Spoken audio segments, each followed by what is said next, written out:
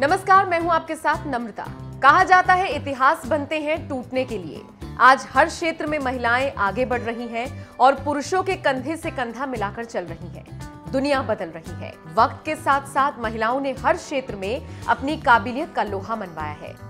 लेकिन ये कहते हुए हम उस इतिहास को नहीं भूले हैं जहाँ से होकर आज महिलाएँ यहाँ तक पहुँची हैं।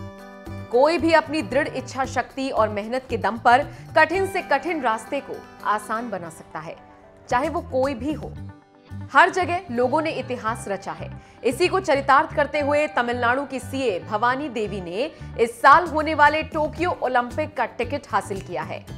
और तलवारबाजी में क्वालिफाई करने वाली पहली भारतीय तलवारबाज बन गई हैं। भवानी देवी ने समायोजित आधिकारिक रैंकिंग एओआर के आधार पर ओलंपिक क्वालिफिकेशन हासिल किया है।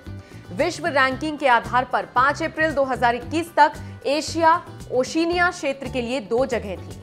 भवानी फ़िलहाल 45वें स्थान पर हैं और रैंकिंग के आधार पर वो एक स्थान हासिल करने में सफल रहेंगी।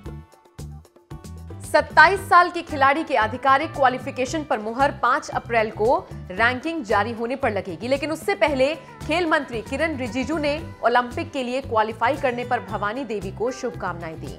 रिजिजू ने ट्वीट कर कहा, भारतीय तलवारबाज भवानी देवी को बधाई, जिन्होंने टोक्यो ओलंपिक के लिए क्वालिफाई किया है।